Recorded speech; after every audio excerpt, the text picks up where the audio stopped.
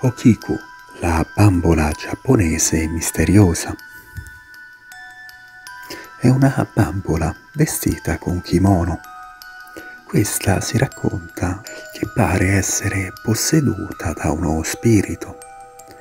I suoi capelli, lunghi e neri, pare che crescano nei periodi come quelli umani.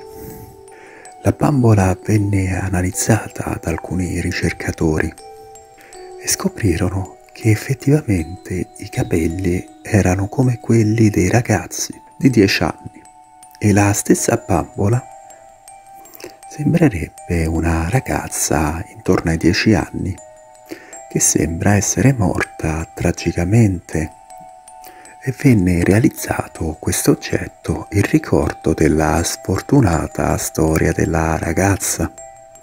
Anche il suo nome prese spunto dalla tragica storia, infatti riportava lo stesso nome della fanciulla. La bambola misura 40 cm, vestita con un bellissimo kimono rosso.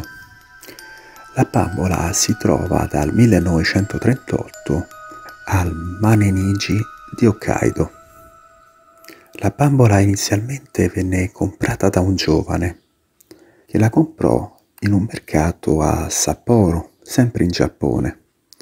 Era un regalo per la sorellina Okiku.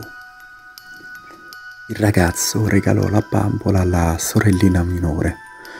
Purtroppo questa morì dopo pochi anni a causa di una febbre altissima. Con la morte della bambina, alla bambola misteriosamente iniziarono a crescere i capelli. La famiglia pensò che la bambola custodisse al proprio interno lo spirito della bambina, al che decisero di lasciarla dove riposava la bambina, nel tempio di Manenichi ad Hokkaido.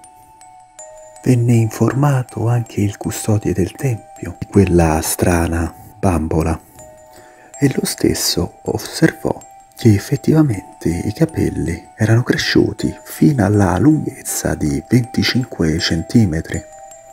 Una volta arrivati all'altezza delle ginocchia della bambola, i capelli furono tagliati, ma questi continuavano a ricrescere. E da allora un campione di capello venne analizzato in laboratorio e il capello corrispondeva a un vero capello umano di un bambino dell'età di 10 anni, alimentando il mistero che si è creato attorno a quella piccola bambola.